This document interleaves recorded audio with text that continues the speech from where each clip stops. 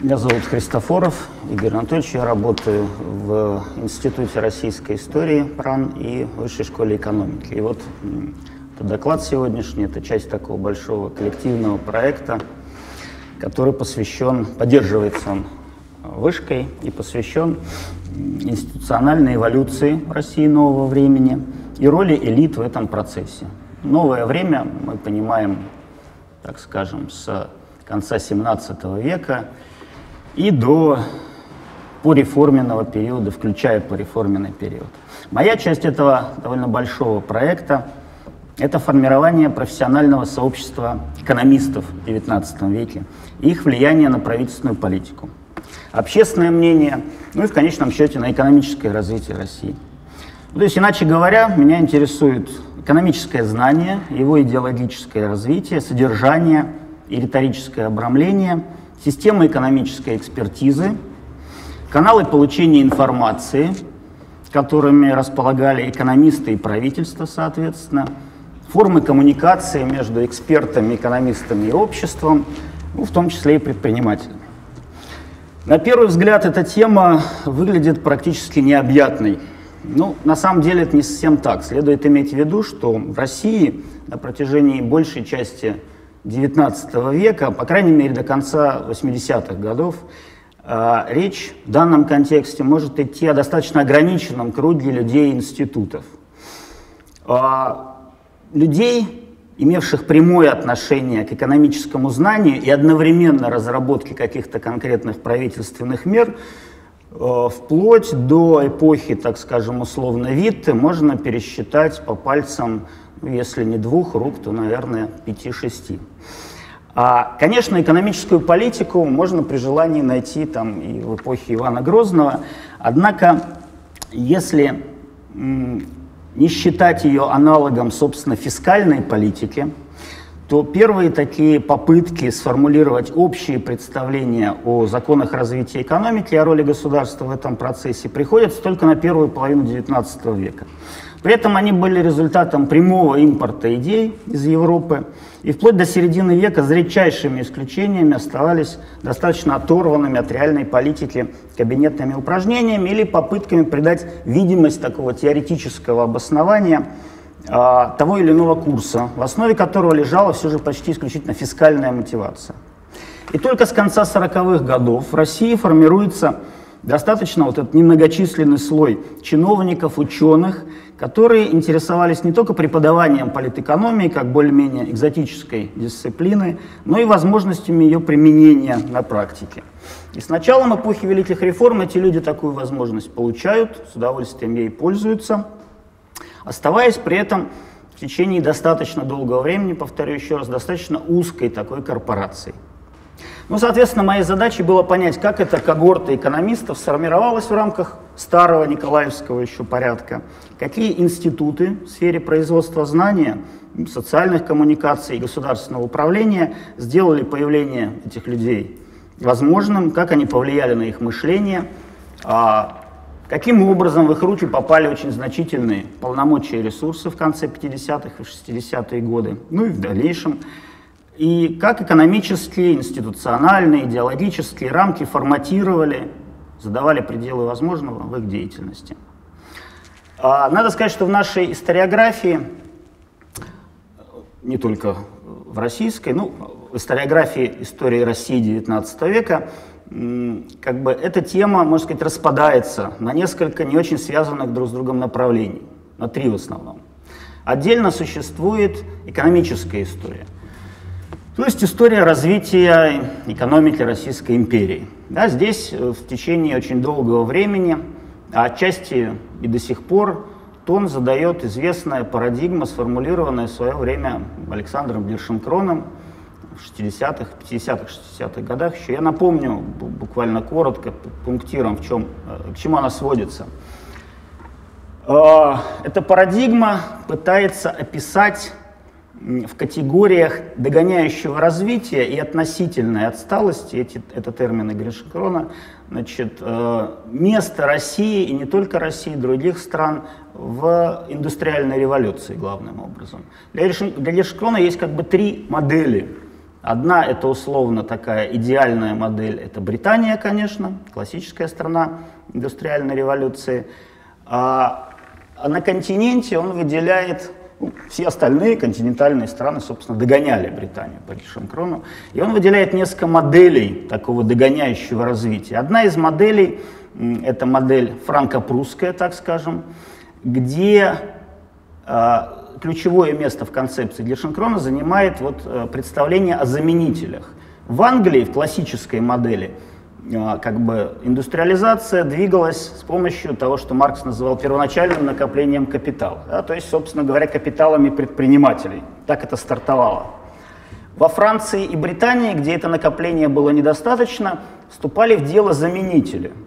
Вот в этих двух странах заменителями по Дершенкрону были банки – которые более-менее активно, акционерные главным образом банки, инвестировали в промышленность и таким образом аккумулировали ресурсы.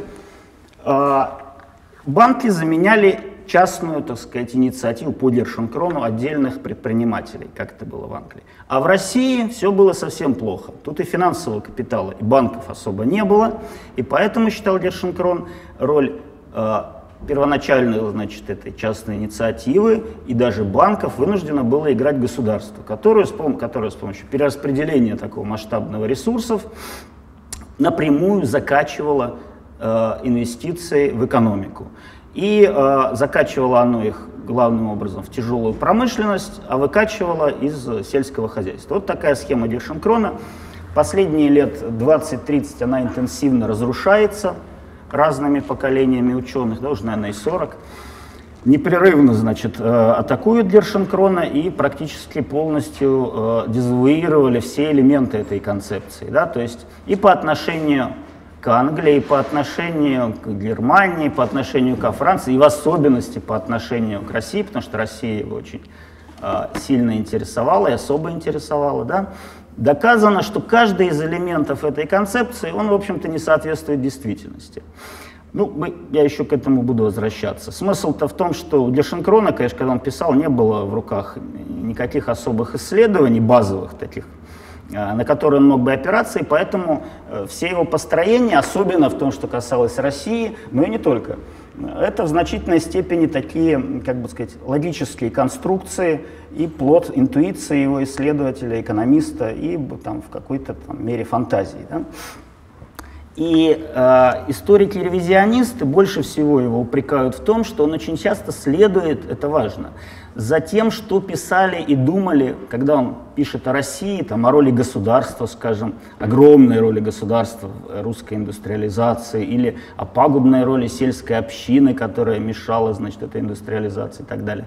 Он следует просто за публицистикой, за общественной мыслью 19-го, начала 20 века, ну да, естественно, строит свою аргументацию в рамках там, экономической науки своего времени, но как бы это повтор тех самых моделей, стереотипов и мифов, которые бытовали тогда в российской общественной мысли. Ну, а, а экономисты, опираясь на первичные источники, на статистику, насколько ее можно собрать, да, они доказывают, что нет, государство не имело ни желания, ни ресурсов на самом деле, и не было таким главным инвестором, более того, не особенно кон контролировала размещение значит, инвестиций, что сельская община совершенно никак не мешала такому относительно медленному, но все-таки развитию там, а, аграрного производства, что промышленность начала развиваться задолго до того, как Витте объявил, что у нас будет, значит, такой рывок, что мы все будем делать для того, чтобы создавать тяжелую индустрию и так далее.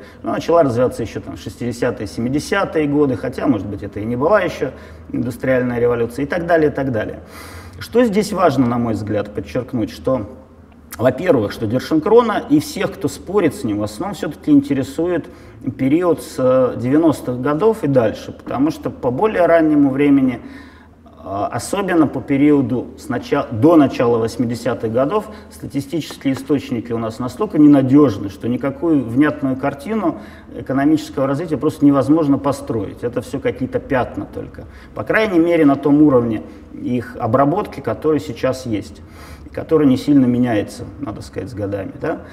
А, таким образом, получается, что из поля зрения выключается большая часть XIX века, во время которой в это время что-то происходило, происходили очень важные подвижки, но не объяснить их, закономерности, не э, как бы статистически сделать выкладки, которые бы их иллюстрировали, нет возможности сейчас. Это вот такое экономическое направление. Да? А ревизионисты, критики Шенкрона, они считают, все, так сказать, это такое сейчас более-менее общее мнение, такой мейнстрим, что Россия на самом деле вовсе не так катастрофически отставала, что она очень успешно развивалась, но опять-таки там с 80-х, 90-х годов, и что по темпам, ну как известно, это, так сказать, очень часто цитируется в СМИ, да, вот по, по темпам развития мы там а, были на очень высоких позициях в мире и так далее, и так далее, и что на самом деле ничего такого трагического не было. Я должен сказать, что, конечно, серьезный такой, непредвзятый взгляд не подтверждает, сразу скажу, это представление. Я вот сейчас э, покажу вам, собственно говоря, базовый параметр да, экономического развития страны. Это национальный доход на душу населения. Тут вы видите 61 год и 1913, данные Пола Грегори, э, главы этой ревизионистской школы. То есть вот он сам их приводит. Да? А, как вы видите, здесь мы что можем увидеть? Э, темпы, относительные темпы роста. И мы видим, что Россия на самом деле за 50 пореформенных лет никого не догнала, за исключением Италии. Отставание от Италии, как вы видите, оно снизилось совсем чуть-чуть. Был индекс 258, стал 219.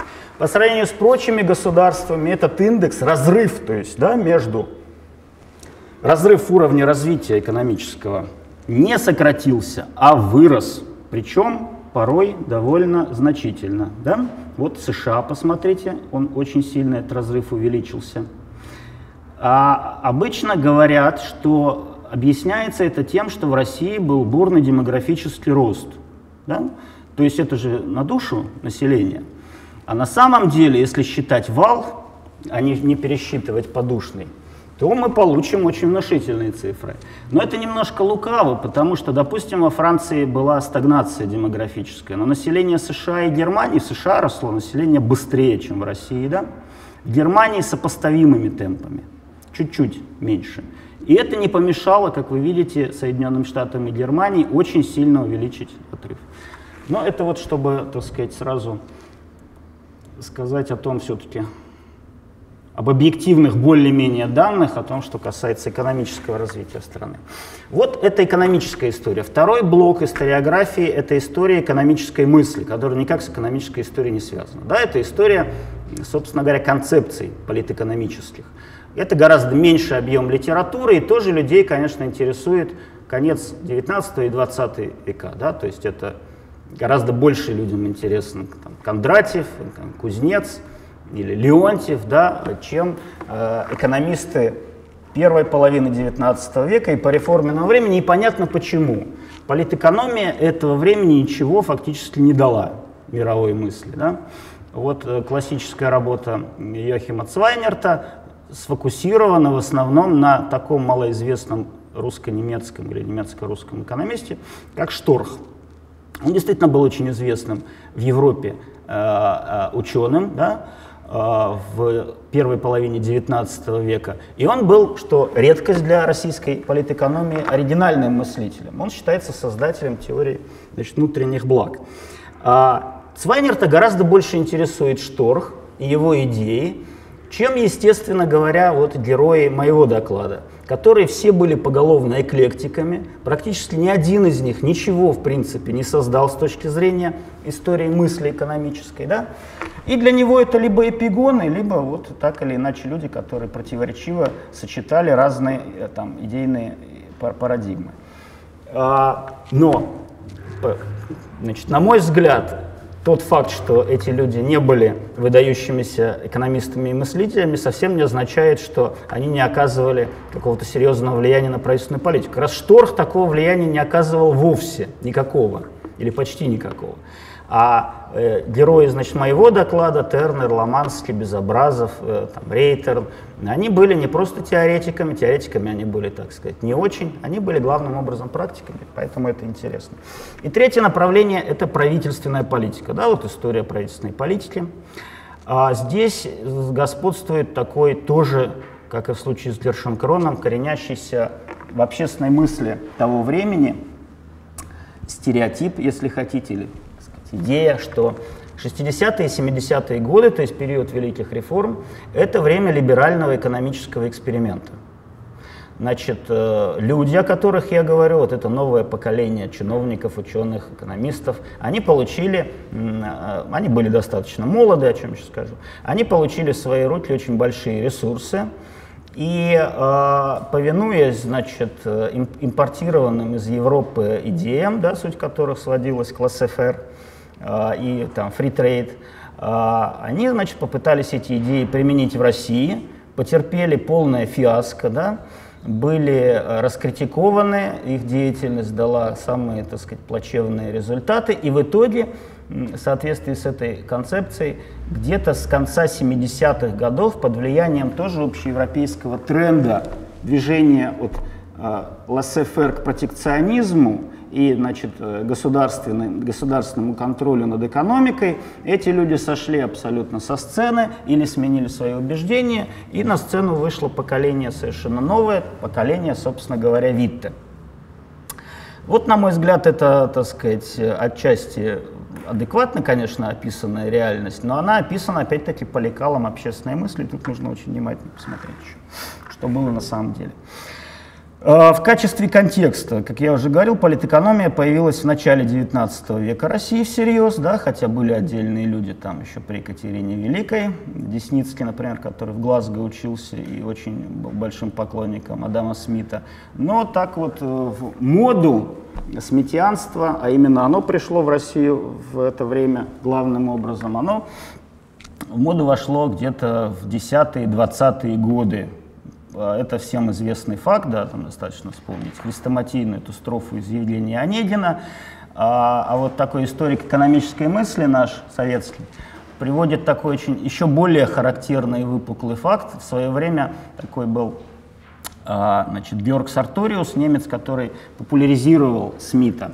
Германии, и его книга, она называлась «Начальное основание народного богатства и государственное хозяйство, следуя теории Смита». Она была переведена с немецкого на русский в 1812 году в Казани. И вот Блюмен нашел экземпляр со списком подписчиков на это издание казанское. Да? И вот он пишет, действительно фантастика. Среди подписавшихся, он пишет, имеются, ну, само собой, губернаторы, это все провинция глубокая, предводители дворянства, архиереи, священники, штаб-лекари и письмоводители, бурмистр, ученики Нижегородской гимназии, многочисленные купцы и мещане. Из таких городов, например, как Соликамск, Шадринск, Кунгур, Верхотурье, Иркутск, Нерчинск, Якутск и Нарым. Они там читали Сарториуса.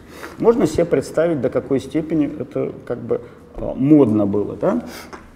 Другой вопрос совершенно, что эта мода никак как я уже говорил, не влияла на правительственную политику. Такой довольно известный русский государственный деятель, автор биографии Спиранского. Корф, он так вот формулирует а, а, очень ярко и характерно, и, в общем-то, правдиво, что а, сметианство было абсолютно оторванной от реальности теории. Да?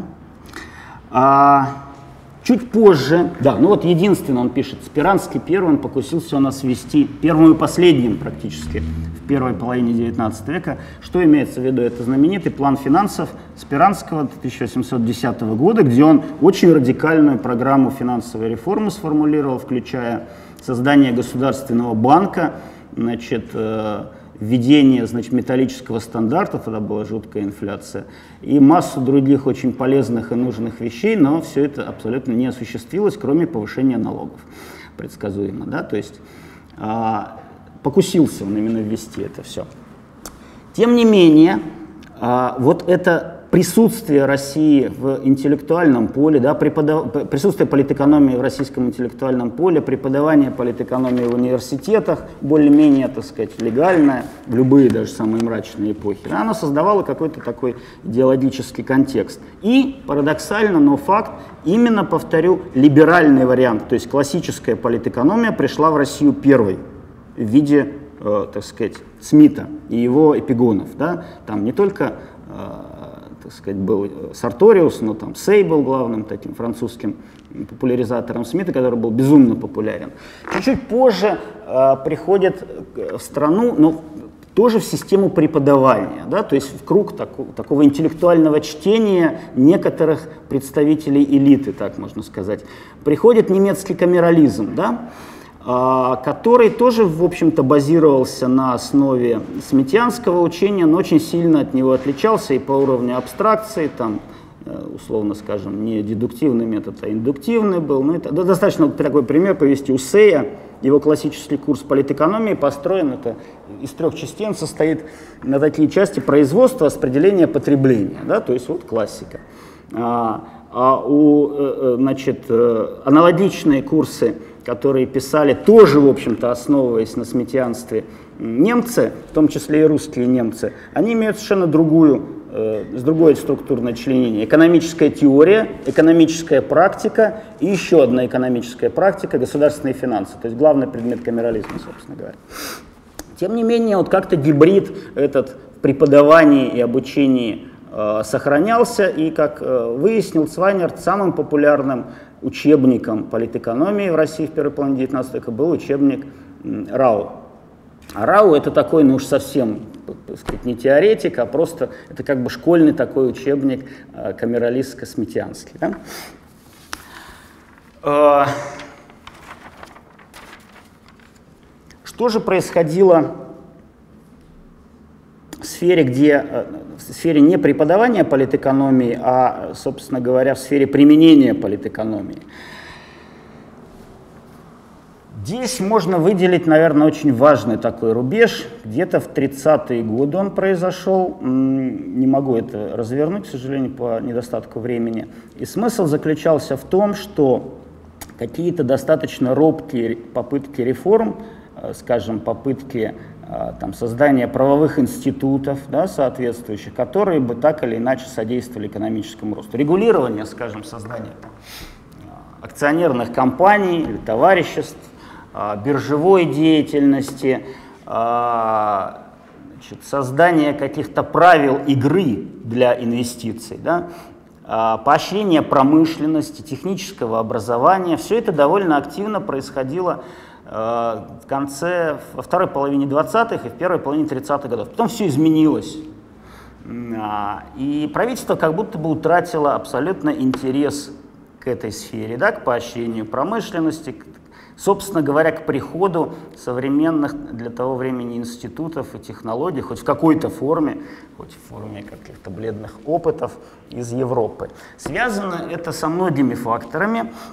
В первую очередь наверное, с э, тем, что 30-е и 40-е годы – это такое становление, как известно, национального проекта, да, такая национализация имперской идеологии, что больше всего известно по триаде Уварова, некоторым подобным вещам. Да? Но именно в это время, как, как, понятно, как это влияло на промышленную, на экономическую значит, политику и концепцию правительства. А, основным здесь становится иде... основной становится идея о том, что классический экономический путь развития этого времени, то есть Британия, который давала, и который был известен в основном по каким-то, ну, по литературным образцам, да, по британской и европейской публицистике. Он совершенно ужасный, он не подходит не только для России, но и для любой нормальной стране, потому что, страны, потому что он ассоциируется с биржевыми спекуляциями, постоянными кризисами финансовыми, значит, с мыльными пузырями, которые, несмотря на все регулирование, лопаются, значит, с банкротствами, с разбухшими городами, с ужасной нищетой э, пролетариев, да, которые лишены всякой собственности, с обострением социального вопроса и так далее, так далее, так далее. Да? Хорошо известна эта вот картина классическая. Она пришла в Россию почти одновременно с тем, как она пришла в Европу. Россия на этом фоне представлялась сторонниками вот такого взгляда, что это ненормальный путь развития, такой своего рода тихой гаванью.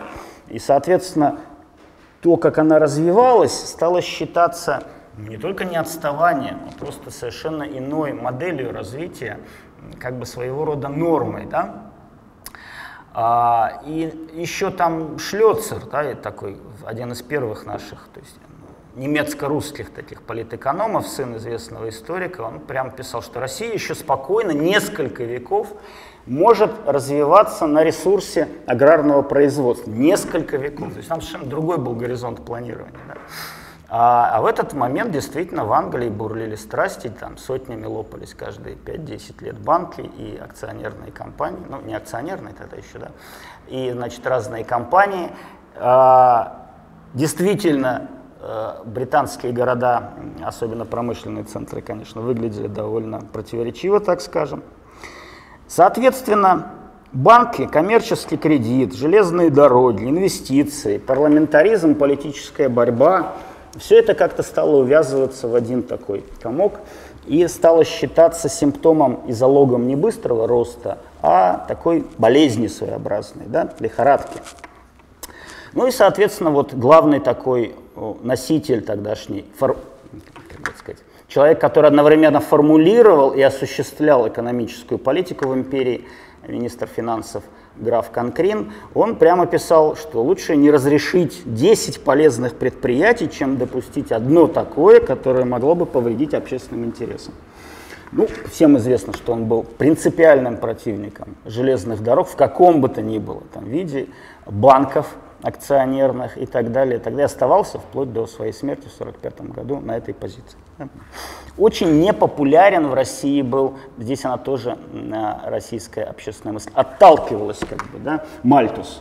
Мальтус это было такое своего рода идеологическое исчадие ада для русских. Ну, естественно, все писали, что вот у них там мальтузианство, это может быть, это ужасно, но может быть и имеет смысл. Но у нас-то с такой территорией и с крестьянами, которые привязаны к общине, опять, еще несколько веков ни о каком значит, э, перенаселении, ни о каких мальтузианских ножницах не может быть и речи. А, вот, соответственно, был такой очень известный польско-русский экономист в первой половине XIX века, классик, можно сказать, Людвиг Тенгоборский. Да? И он в своей тоже классической книге, которая была написана э, в конце 40-х, начале 50-х годов, вот по-французски вышла в 55-м, по-русски чуть позже, на несколько лет, он прямо формулирует этот мейнстрим, да, то есть Тенгоборский был сметьянцем, естественно, он мыслил в классических категориях политэкономических, и тем не менее он изобретает, вы видите, какую-то сельскую, особую сельскую промышленность, да, которая опирается на общину, которая фактически это такой один из ранних вариантов народнической доктрины. Не то, что он изобрел это, нет, конечно, это изобрел там как Гаузен, но или даже не как Гаузен, не, не очень важно, кто изобрел. Он просто воспроизвел стандартную а, парадигму мышления. И вот посмотрите, что случилось это Вернадский, Иван Васильевич Вернадский, человек, который... А, вот у меня не поместился слайд тут почему-то. Сейчас я так сделаю. Человек, который был переводчиком книги Тенгоборского с русского, э, с, с французского на русский, э, можно сказать, был его в каком-то смысле учеником. А, он прямо, так сказать, комментирует все это совершенно уже классически. Да? То есть, что важно для Тенгоборского в этом аргументе? Патриархальное устройство, не зарождая пролетариата, такие маркеры, да, бича этого новых обществ. То есть вот э, один взгляд на экономику, а у Вернадского классический взгляд. Просто сельская промышленность плоха, она мало производит, и поэтому неважно, там есть пролетариат, нету, не нужно ее поддерживать. Да? Вот эта революция в мышлении – разрыв между двумя поколениями, да, он и, и возрастной был, и идеологически здесь очень хорошо видна. И произошла эта революция, то есть сформировалось это новое поколение в 40-е и 50-е годы, а получила возможность вот такие вещи публиковать и тем более реализовывать политически в конце 50-х годов. Да?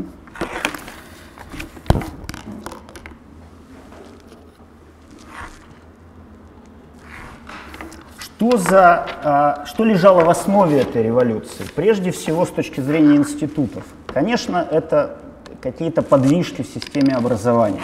Очень примечательно, что три ключевых деятеля этой когорты, этой группы небольшой экономистов, а, Рейтерн, министр финансов, на протяжении почти всего реформенного периода и главный, так сказать, э, интеллектуальный двигатель, можно сказать, экономической политики новой, ну если не, не интеллектуальный, то хотя бы административный, Ломанский, глава Государственного банка и фактически его создатель.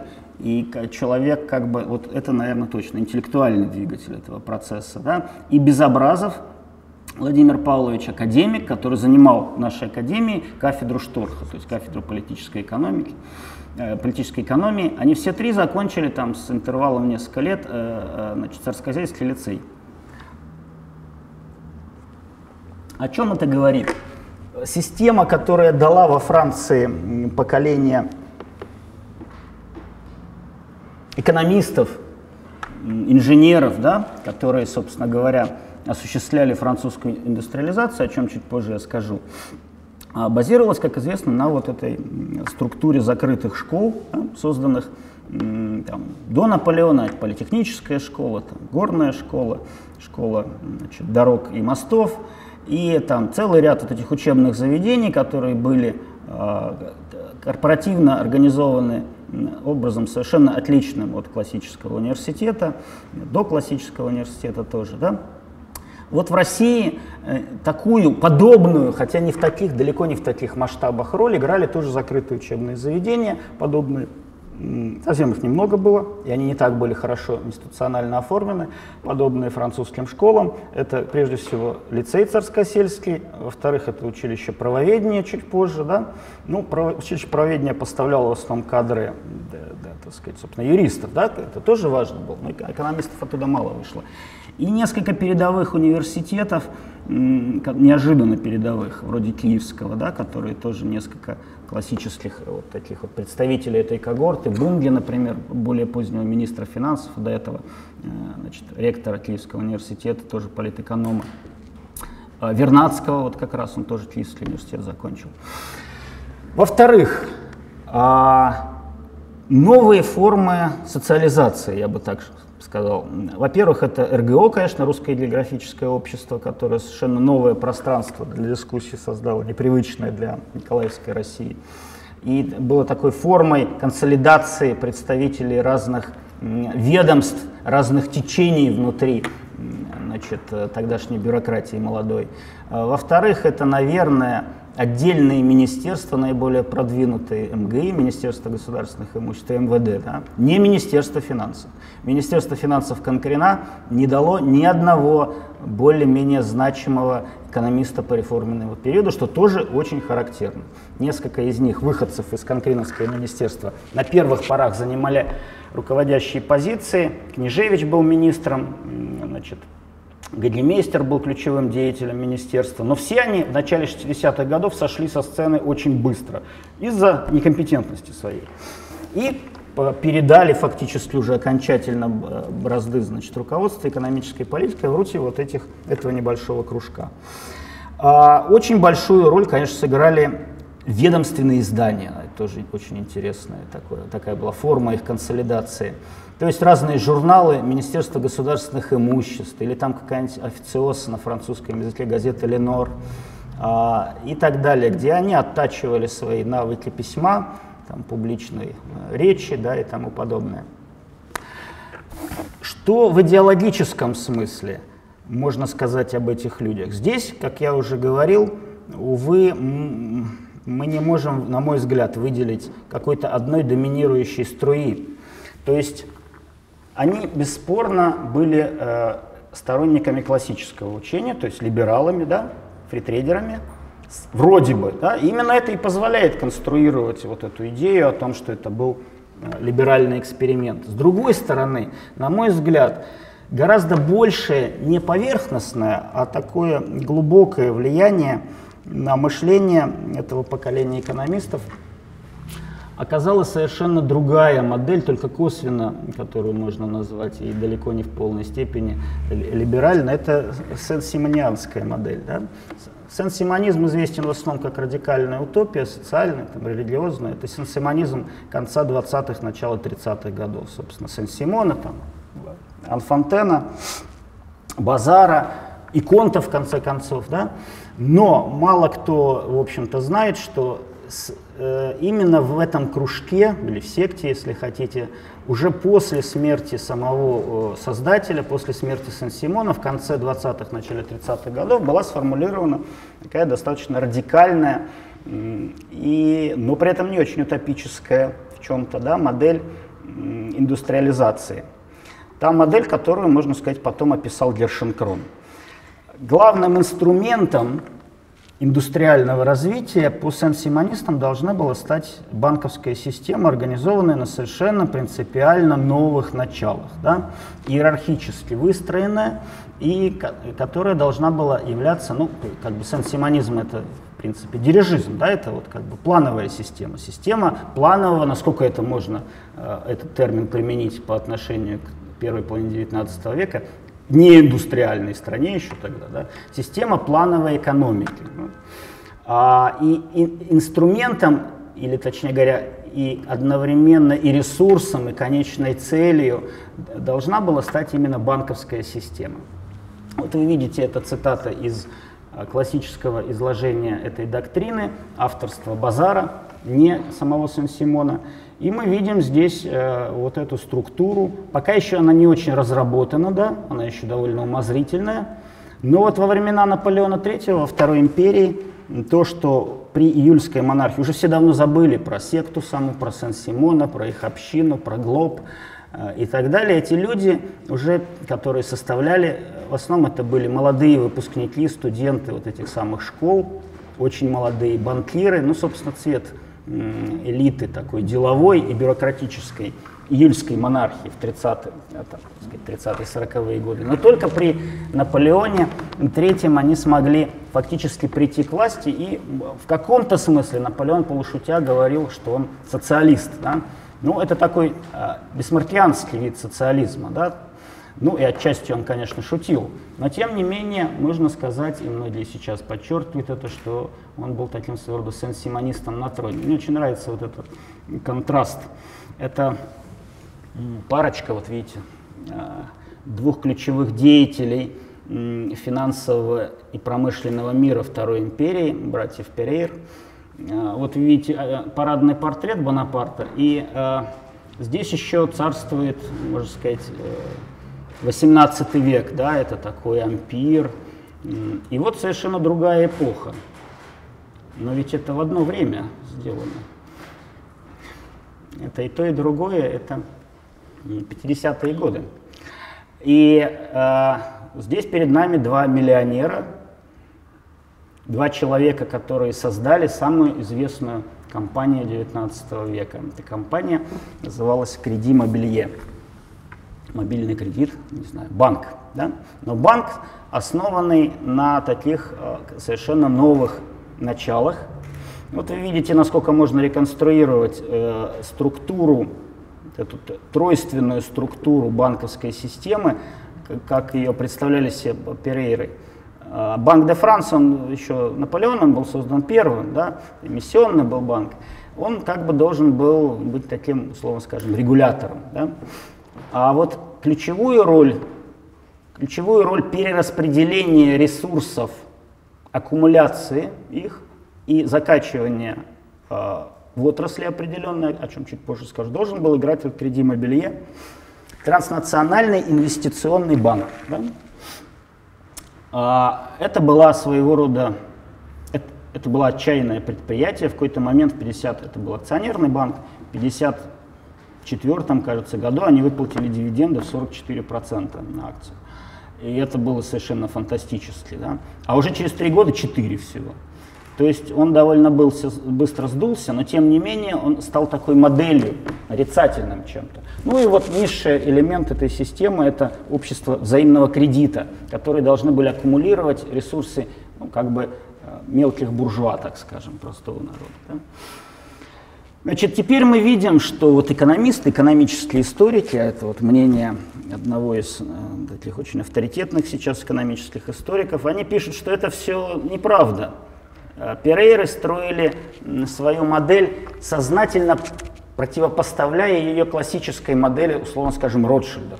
Они враждовали с французскими Ротшильдами. И вот если Ротшильды это классическое семейное предприятие, такое построенное по, как, как система очень осторожного, значит, э, даже не инвестирования, да, а выделения как бы суд и, так сказать, судно-учетные операции да, в основе лежали. То есть это вексельные, главным образом, операции под товарные суды и короткие кредиты. А э, Ротшильды не, не очень любили соваться э, в инвестиции да, и в биржевую игру, по крайней мере, так безбашенно, как это делали Перейры. Но, как пишет Ричард Сайло, на самом деле современные данные говорят, что роль вот этой новой модели во Франции была не очень велика. Она была безумно влиятельной в идеологическом смысле. Она была самой известной. Сейчас я об этом скажу. Но на самом деле экономику скорее создавали банки типа Ротшильдов и еще более мелкие частные банки, даже не акционерные. Вот э, в США видите, тоже был свое креди мобиле, которое никакого отношения к Перейрам не имело. И это была знаменитая афера с Union Pacific.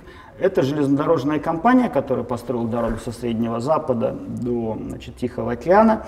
Это была самая известная, наверное, афера а, американская того времени. Выяснилось, что, ну вот, собственно, Union Pacific был генеральным заказчиком строительства, а генеральным подрядчиком был Креди Мобилье.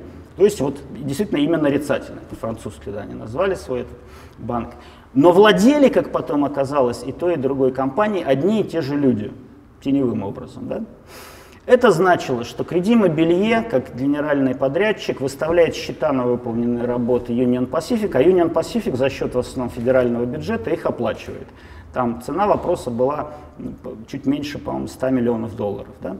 Это было очень сомнительное с точки зрения коммерческой предприятие, потому что в основном по пустыням строилось, и э, как бы не очень понятно было все это.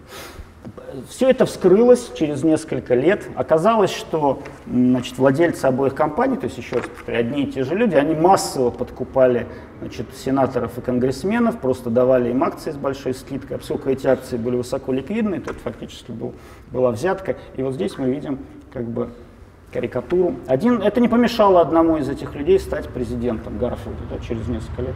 это не очень сильно повлияло на репутацию большинства. Один только пострадал, вот которому здесь на карикатуре Харакири предлагают сделать. А, то же самое абсолютно мы наблюдаем в России.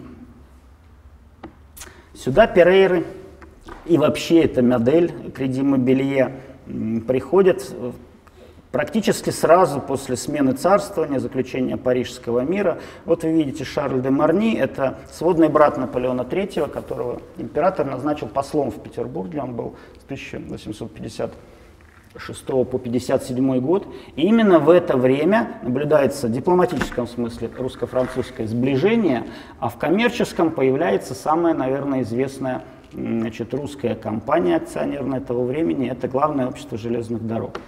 Оно появляется в конце 1956 года.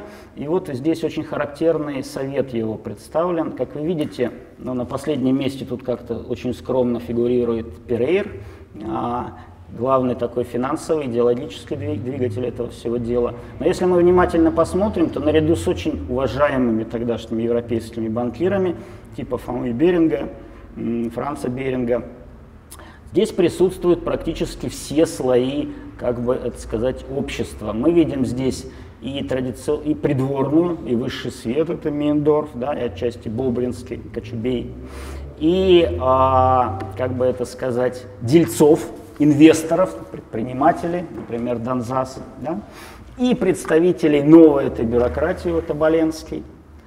А, компания была имела такую же примерно судьбу, как Union Pacific, э, как Mobile, прошу прощения, в, значит, в Америке. То есть очень быстро она выросла, подписчиком был сам император, это очень известная история. И очень быстро тоже сдулась, они хотели построить, главная цель была построить сеть железных дорог с помощью активного привлечения иностранных инвестиций. Но в этот как раз момент не повезло, в Америке случился кризис, лопнул как раз инвестиционный пузырь очередной, и деньги не потекли в Россию, то есть не удалось практически ничего на европейских биржах разместить, и переформатировали в итоге главное общество. Тем не менее, оно оставалось главным игроком на железнодорожном рынке, на рынке и строительства, и эксплуатации, вплоть до ликвидации уже при Александре III. И здесь мы видим то же самое, что во Франции, это попытку э, ввести вот эту модель финансовой уже сфере, не имеющей никакого отношения с железнодорожным строительством, э, внешне. Да? Это создание Госбанка, общества кредита, акционерных коммерческих банков. То есть это вот структуру, которая во Франции должна была а, концентрировать и перераспределять эффективно инвестиции. Как, но э, внешне это похоже, да, вот эта система, и автором основным был Ломанский как раз. А внешне это похоже, но совершенно не похоже было в реальности. В чем заключались отличия? Государственный банк, в отличие от Франции и Англии, не был в России частным банком. Да? Он был отделением казначейства и Министерства финансов. Да? А, соответственно, э, у Государственного банка не буду вдаваться в детали, как бы в чем смысл, почему госбанки тогдашние в Европе были акционерными, частными. Смысл был в том, что эмиссия, то есть выпуск денежных знаков, имела выпуск, э, как бы, банковских, форму выпуска банковских нот. То есть она должна была быть подкреплена и обеспечена отчасти металлическим запасом, а отчасти, значит, сделками реальными коммерческими, судно-учетными операциями. То есть фактически банковские ноты, государственные деньги имели характер облигаций. Да? Ну, беспроцентных, допустим. Да? Но, значит, э, по тогдашней теории денежного обращения это было гораздо надежнее, чем если казначейство э, печатает деньги, поскольку за казначейским печатанием денег, как их не назови, ассигнации или кредитные билеты, ничего не стоит, да? кроме воли государства. В России вот Государственный банк Акламанский хотел его сделать по образцу Франции и Англии, не получился. Точно так же общество взаимного кредита, которое, если, как вы помните, значит, должны были аккумулировать ресурсы не очень крупных, средних и мелких предпринимателей и перераспределять их. Да? Ничего этого тоже, конечно, не было. Характерно, что... Ну, то есть в перспективе было, но не в тот момент, не в 60-е, 70-е годы. Характерно, что Ломанский создал общество, Петербургское общество взаимного кредита, главное и первое, в помещении разместил его Госбанка, собственно говоря. Он был председателем, он был э, заместителем управляющего Госбанка и одновременно председателем правления общества взаим, взаимного кредита. И все, все знали, что значит, там, обслуживающий персонал, когда нужно, он просто мешки денег из значит, казны Госбанка перетаскивал в казну общества взаимного кредита, когда ликвидность нужна была. А потом таким же образом, если нужно, перетаскивал обратно. Ну, понятно, что эта система, мягко говоря, не совсем то, о чем думали Переры, которые тоже не прочь были за счет бюджета поживиться, но не в таких уже патриархальных допотопных формах. Да? А, точно так же акционерные коммерческие банки работали отнюдь не так, как хотелось бы. А, это характерный пример того, что внешнее заимствование в то время все-таки не имело, не имело тех форм, да, о которых которые практиковались в Европе. Вот здесь мы, сейчас я вам покажу, попробую этот слайд, здесь мы видим учрежденное акционерное общество по отраслям. Это как раз это время, да? ну, начиная с Николаевского еще времени. И если вглядеться, то мы видим совершенно непропорциональную роль, которую играли в акционерном учредительстве железные дороги. Это просто фантастические цифры. Вот посмотрите, 179 и 586 миллионов, это особенно впечатляет. И давайте посмотрим на банки и кредит. Совершенно другие цифры. И если сложить все это, то мы получим, что э, сейчас точно не помню эту цифру, потому что все время одни закрывались, другие открывались, да, то есть это динамичная цифра. Но в любом случае никогда в пореформенное время, включая 80-е годы, от 90-х годов до этого рывка никогда не было больше сотни акционерных банков в России, во всей империи. Тогда как в Англии, значит, ну не акционерных, а частных банков, да, Э, уже в конце 18 века было около 600. Ну, во Франции эти цифры более скромные, но это совершенно другие порядки. И теперь, если мы посмотрим на, собственно говоря, промышленность, да, то есть вот, за пределами инфраструктуры, которые можно отнести банки, кредиты, железные дороги и страхование, да, что тогда была русская промышленность? Это главным образом, конечно, металлургия, там, сахар и э, текстильная промышленность. Ну, конечно, тут цифры. Можно, конечно, говорить, что это акционерное, здесь только общество приведены, там были еще товарищества, но, в общем-то, пропорции здесь, очевидно, совершенно тоже просвечивают. Что это означает? Это означает, что 60-е, 70-е годы – это моноэкономика, да? это экономика строительства железных дорог. В основном за счет э, значит, э, государственного бюджета в той или иной форме, в прямой или косвенной.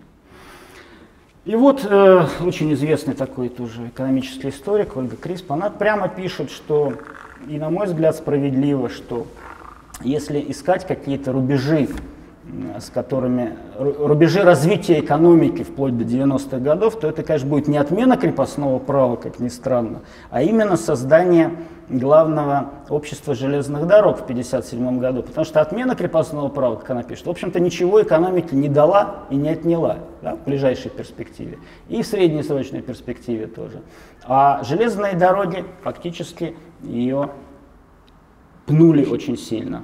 Другой вопрос, куда. Вот результат, ближайший отдаленный результат железнодорожного строительства. Это экспорт хлеба. Да?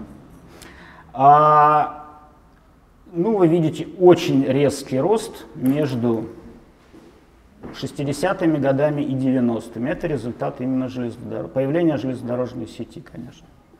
Отнюдь, ну то есть понятно, что аграрное производство тоже выросло, но не настолько, не, не в таких масштабах. То есть местный хлеб, он легко очень стал доставляться на европейские рынки. Что это все означает?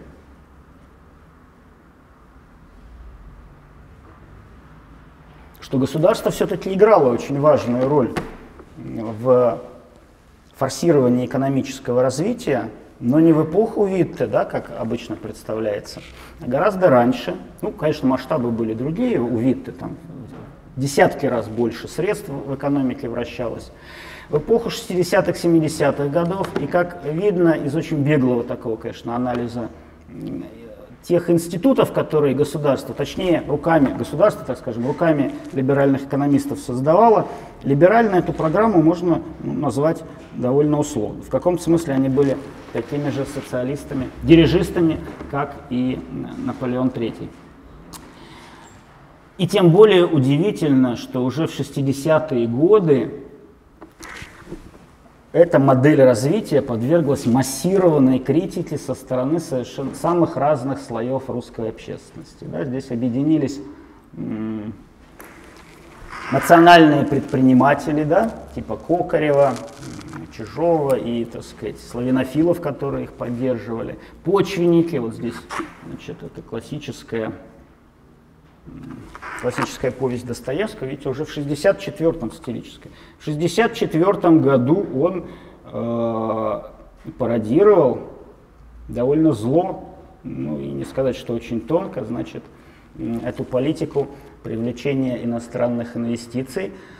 Ну, сюжет такой, что в пассаже, значит, как, если кто не помнит, крокодил, которого привез немец какой-то, съел некоего чиновника, а чиновник там у него сидел и никак не знали, как его вытащить. И, значит, все это рассматривается крокодил, как а, значит, присутствие иностранного капитала, чиновник, как, вероятно, русская экономика или русские значит, люди, которых этот иностранный капитал глотает. И, соответственно, Федор Михайлович очень активно ездит по вот этим тогдашним модным понятиям. Да? Привлечение капиталов, удвоение, основной капитал, капиталы группируются, и вот дальше – значит, новые отрасли полезной промышленности и так далее, и так далее. В этот момент, э, примерно, ну, практически в этот момент, реанимируется и Конкрин, который из такого экономного, очень расчетливого министра финансов превращается в э, носителя русской национальной идеи. Здесь вот очень хорошо, это в этой цитате. В общем, цитата не очень примечательная из маргинальной э, газеты, но здесь очень хорошо выражено, да, что вот Смотрите, он стал русским в душе, И, что очень характерно, значит, если уж неизбежен выбор, да, кому умирать, видимо, от нищеты, то он бы предпочитал, конкретно, чтобы это Значит, в Лионе, кто тут ткачи помирали, они подмосковные значит, крестьяне, которых привлекли на ткацкие фабрики. В чем тут логика? По, по конкрену, значит, ну, это игра, с, мировая экономика, это игра с, с нулевой суммой, да, или, так сказать, есть ограниченный набор благ, который, если откуда-то он, значит, где-то он прибыл, то откуда-то он обязательно убыл. Это и, э, э незамысловатая, в общем-то, идеология, она серед... уже с конца 60-х, начала 70-х годов начинает постепенно выходить на доминирующую позицию. Если мы станем искать причины ее доминирования, такого резкой смены такой идеологической парадигмы, то мы их не найдем в экономической сфере. Потому что, да, были какие-то кризисы в 66-м, 73-м году, но еще до 73-го года, самого масштабного кризиса, того времени, значит, уже начала сворачиваться эта программа строительства значит, новых институтов финансовых, потому что железные дороги не останавливались, замедлялось просто строительство, а вот с банками стало совсем плохо. А, вот уже в 1971 году Рейтер, министр финансов и, собственно говоря, лидер группировки либеральных экономистов, прямо пишет, что модель креди мобилье это не банк на самом деле вовсе. Это не настоящий банк, а настоящий банк это тот, который берет значит, вклады э, и выдает суды, проводит вексельно-учетные операции и выдает суды под товар. То есть никакие инвестиции здесь ни при чем. Практически с этого времени, с 1971 года, как очень хорошо показал в свое время Длиндин, заморожено было учредительство в банковской сфере. То есть акционерные компании в России создавались э, законодательным решением. Каждый раз законодательный акт нужен был. И это легко очень было заблокировать. Просто на уровне значит, правительства Государственного Совета э, негласно и гласно говорим, нам не нужны больше банки. Нам не нужны вообще новые банки, потому что у нас их достаточно. А, то есть достаточным считалась цифра в 4, по-моему, банка э, в Петербурге, а если считать с обществом взаимного кредита, там 5 или 6, да, кажется, и примерно столько же в Москве, акционерных, я имею в виду, банков. Это был перелом, причем причины его не имели экономического, повторяю раз, характера, они имели скорее характер идеологический. И мы видим очень хорошо это 80-е годы, эту идеологию она уже оформила окончательно. Это Кокарев, ну такой анфан терибль русского предпринимательства, тоже миллионер, такой националистически настроенный, не без э, ума. Человек, который, кстати, участвовал в создании главное общество железных дорог в конце 50-х годов. Но его очень обидело, что не русским полностью отдали это дело, а все-таки инициаторами были европейские банкиры.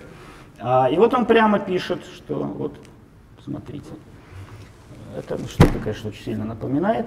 А, то есть, что некие достаточно честные люди, да, вот этот кружок из 5-6 человек – но они ничего не понимали в русской э, жизни в русской душе. Они считали, что они знают какую-то, как алхимики, знают какую-то науку, которой на самом деле никакой науки финансовой нет. И здесь вот, значит, верноподданная Россия, которая движется по мановению престола, ну, а эти люди, может быть, и с добрыми намерениями, они отдают ее во власть Ротшильдов и других за, за биржевого курса. Значит, э, это, это, это все воспроизводится, удивительно, конечно. Факт, есть какие-то, модели. Так же, как дирижизм Деголя да, можно найти в дирижизме Наполеона III, также у нас, в общем-то, происходит постоянное повторение одних и тех же идеологических э, конфигураций. Да. Я, к сожалению, да, затянул немножко, прошу прощения. Спасибо. Спасибо. Так, ну что, вопросы, пожалуйста. Кто хотел бы задать вопрос? Борис Иванович. Скажите, пожалуйста, вот вообще э, какова э, роль э, в элите того времени людей, которые ну, были образованы экономически, вообще интересовались экономикой? 5-6 человек это, конечно, карикатура, но, в общем-то, э, скажем так, это несколько, ну, человек 20, да? Это очень хорошо видно. Они собирались э, под предводительством Безобразова на так называемые экономические обеды в ресторане «Данон». И, значит, приглашали туда разных влиятельных людей, министров и так далее. Но министры туда не очень охотно ходили, а некоторые из них, даже симпатизирующие идеологически, как, например, Валуев, они прямо писали, что вот какие-то там э, что это карикатурный такой парламент экономический, что слушать это невозможно, что это не имеет никакого отношения ни к чему. То есть э, роль эта была очень велика в принятии решений на протяжении, скажем так, 15-20 лет, но она была с, очень незначительно, и в основном их имидж был отрицательным в общественной мысли. Да? Они очень хорошо понимали это, и Безобразов, и другие постоянно пытались пропагандировать значит, экономическую науку, но и себя в качестве носителей, а, монопольных носителей экономического знания, но не очень удачно, потому что правительство это относилось к этому с подозрением, потому что вот какие-то там общества предлагаются политэкономические, непонятно, что будут пропагандировать, free trade, тоже не очень понятно, зачем нам это нужно. А самое важное, что все-таки реально они, э, то есть как бы этот имидж, который создал им, создало им патриотическое общественное мнение, которое очень хорошо проявилось в этой цитате из Кукарева, оно было зеркальным, этот имидж был зеркальным отражением того, как они сами себя позиционировали.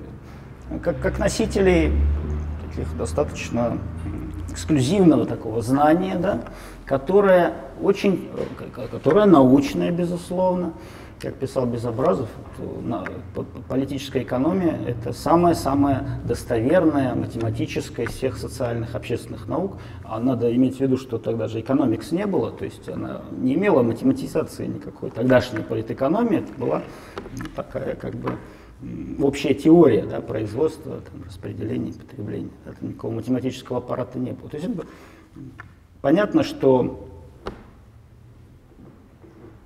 ограждая границы науки своей, да, поскольку это было связано с распределением ресурсов и принятием решений, они тем самым во многом отказывались от влияния на общественное мнение.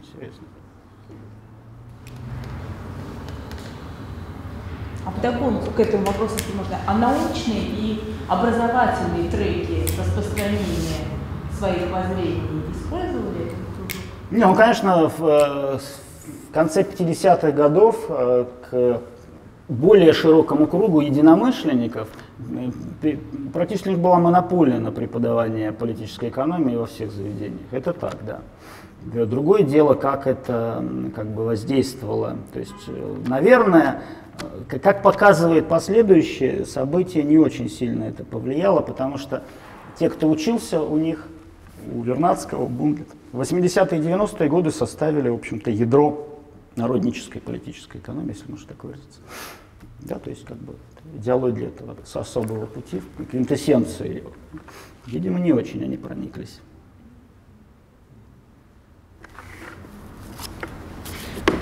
У меня возник такой вопрос э, почти неприличный. Дело в том, что поскольку я начало не слышал, вот, как бы начало слышал, с концом не согласен.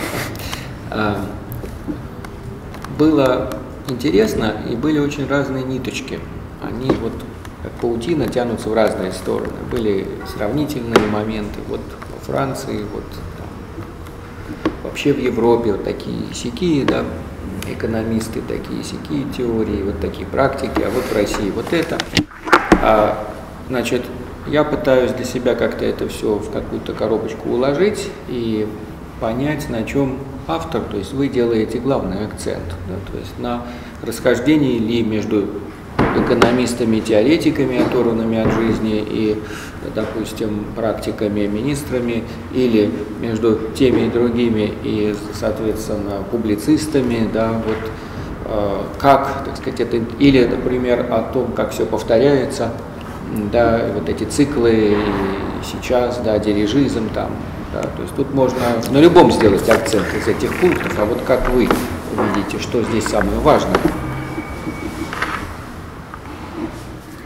А, в том, что касается ну, этого доклада, наверное, можно сформулировать это так, значит, э, как, как система, некая система знания, да,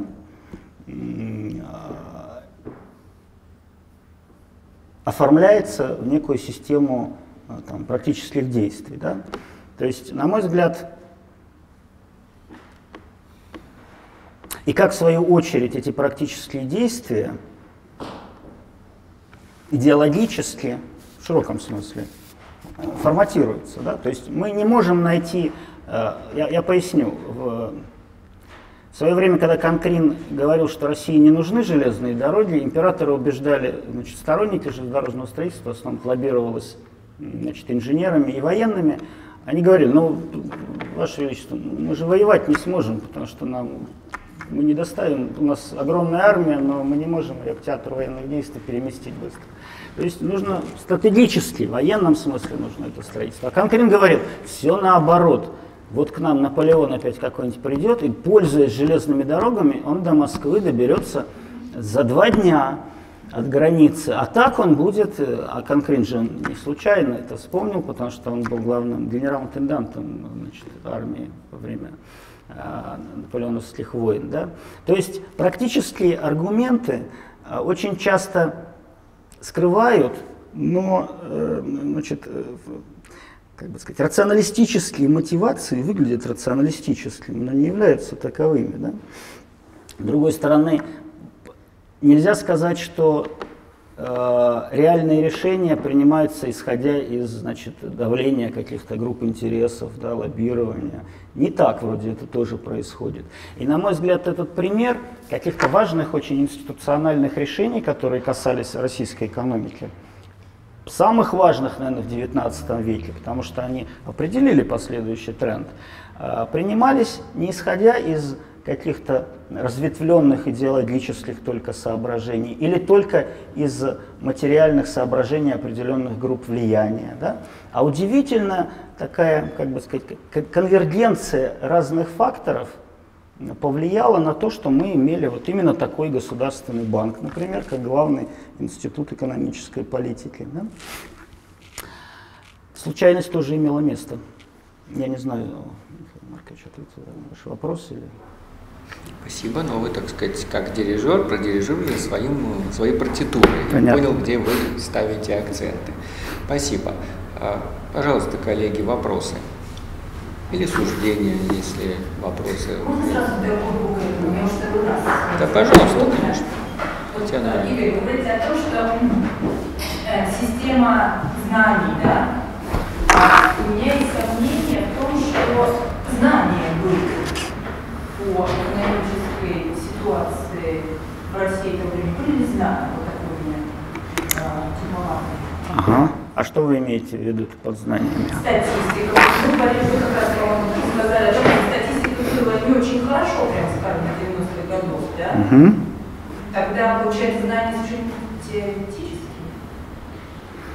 Но как бы в, статистика это, конечно, очень важная наука, не менее модная тогда была, чем политическая экономия, и тоже всем было понятно, что в России она, так скажем, институционально практически отсутствует, фактически.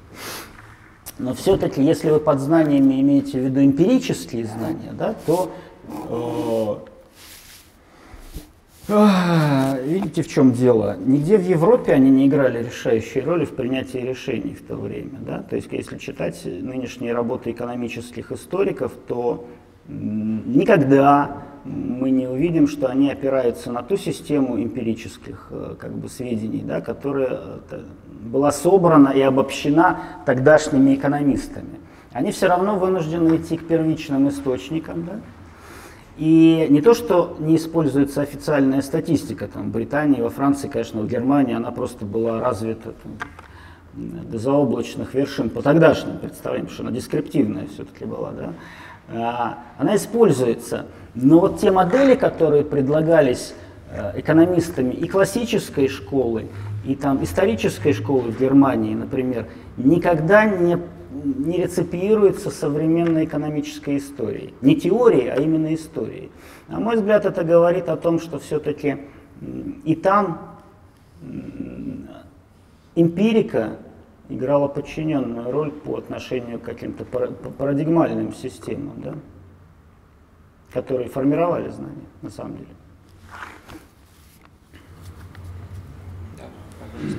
Я так понял, у меня впечатление, что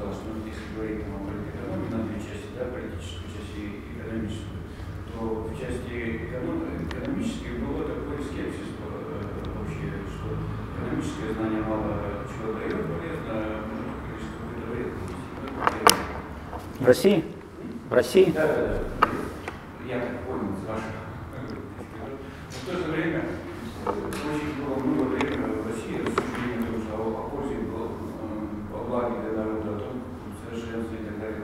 Нам было много попыток, когда там помещики, там, или там даже позже, в каких-то своих поместьях предпринимали все эксперименты, как бы там, ну, как устроить вот, э, жизнь, так сказать, более совершенную и так далее. Вот, предпринимаются какие-то попытки вот, стать, ну, экономистами и вообще вот такой опыт и что-то полезное это, это, это, Или это все такая красивая Нет, ну я, я, я бы не хотел, чтобы он так так создалось впечатление что какого-то. У меня нет нигилистического отношения э, к, значит, это время, о котором я говорил, это, собственно говоря, период такого расцвета сциентизма да, в Европе, ну и в России, соответственно. То есть представление о том, что э, там, знание об обществе должна давать там не гегелианская какая-нибудь теория, не кантианская, а наука позитивная. Да?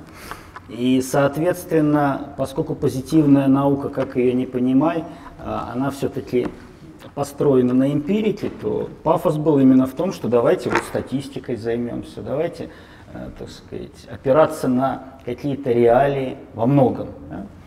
А другой вопрос, что, смотрите, э, это хороший пример, э, рационализаторы-помещики, да, которые, например, выписывали в начале 19 века, потому что сметянство было в моде, и Англия тоже, выписывали машины и фермеров из Британии – Сажали их рядом с крестьянами своими крепостными в надежде, что таким образом Россия перейдет к английской агрикультуре. Да? Ну и разорялись в основном. Ну, хороший пример значит, соответствия идеологии практике. И перестали это делать. Еще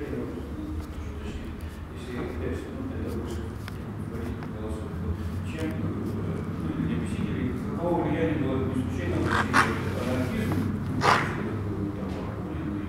Кропоткин и так далее. Мне больше открытие, вот как влияло это вот этот анархический на экономические воззрения в России? Очень незначительной степени, насколько я знаю. Именно анар... классический анархизм, да? Потому что анархизм это очень широкое понятие. Нет, Бакунин практически никак. А, значит, но я не знаю, как уж там Бакунин именно, то есть русские анархисты как повлияли на европейскую экономическую мысль. Если вы имеете в виду там какого-нибудь Прудона, то, конечно, это влияние было очень сильным. Но я, я так понял, что вы спрашиваете о русских, да? Я сомневаюсь, что Бакунин сильно повлиял на... В, в смысле экономических идей, да. Ни на Европу, ни на Россию, по-моему, как-то это сложно проследить. Это было какой-то тоже в экономике, в смысле экономики, это был коктейль там из э, Прудона и других. Да.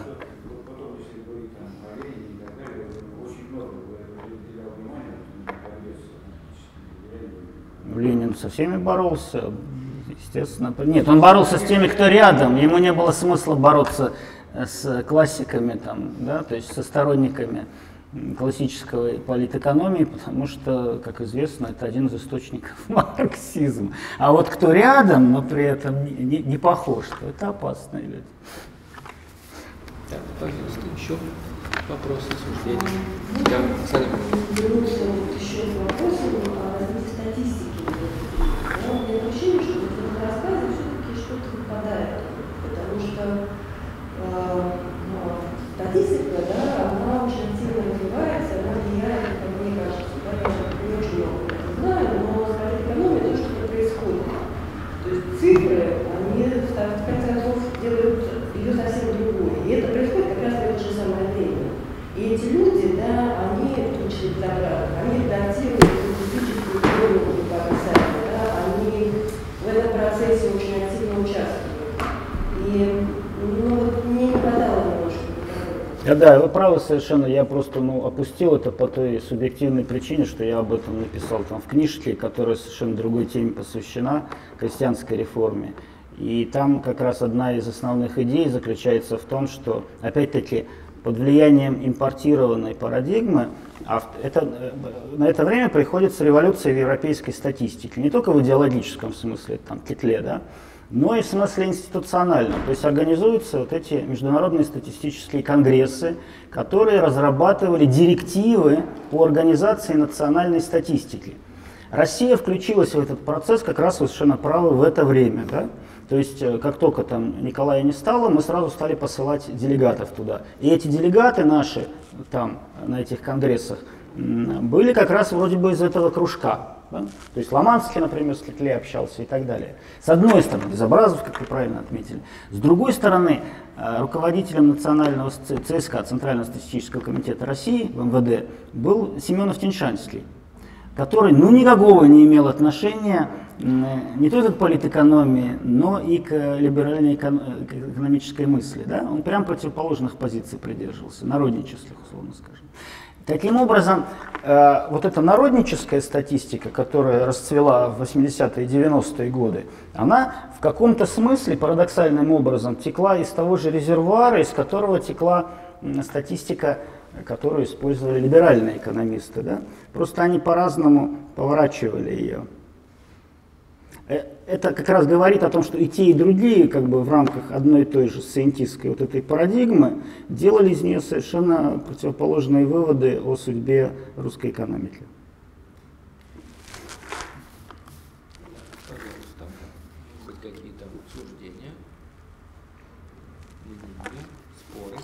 Я, я хотел сказать, что эта работа вот по этому конкретному проекту. Ну, в таком более-менее начале находится, поэтому я был бы очень признателен за какую-нибудь критику, и...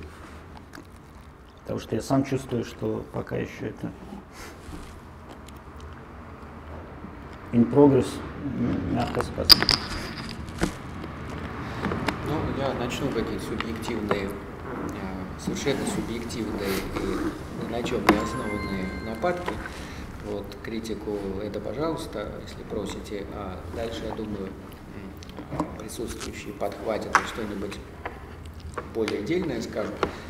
Значит, э, по какому-то восприятию, да, по структуре, это было видно в вопросе, который я задал. Мне вот не хватало а, стержня. Mm-hmm. Мне не хватало вот то, что у нас сейчас можно назвать месседжем. То есть вот а, сказать, все вот, да, вот, а вот этого не хватало с точки зрения какого-то позиционирования автора и вот вектора, да, вот это все вот к чему, да материал интересный, разнообразный, понятно, что еще можно еще целый час или даже больше об этом говорить. Но вот акцент, да, вектор, направление, вот это первый такой логический момент, как организовать этот материал. Потому что мы все этим занимаемся, да, материала много, мы всегда избирательны, мы не можем изложить все, и, а мы пытаемся ловить смысл. Значит, вот. Отсюда этот вопрос.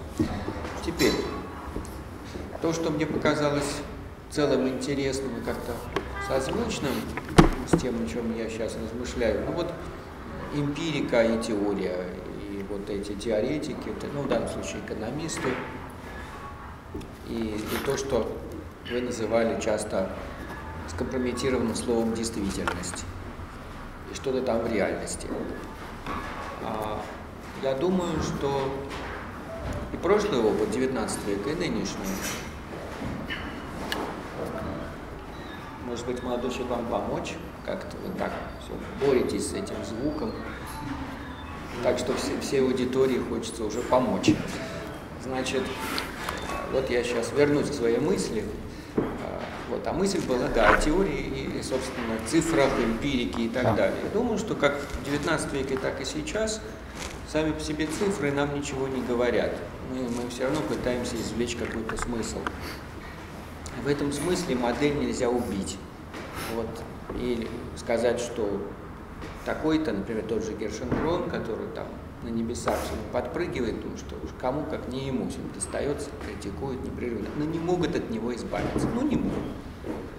Вот, то есть модели, э, они в какой-то степени вечные удачная модель, ну, наверное, та, которую больше всего критикуют и никак не могут да, без этого обойтись. Вот Гершенкрон это именно то, я как раз хотел заступиться, сказать, что он велик, а, и что замены ему нет до сих пор. Вот я не специалист, но я сошлюсь на О'Брайена, например, который об этом прямо пишет в статье ну, «Индустриализация и модели, там, типологии и так далее», что да, раскритикован, да, все понятно, но замены нету.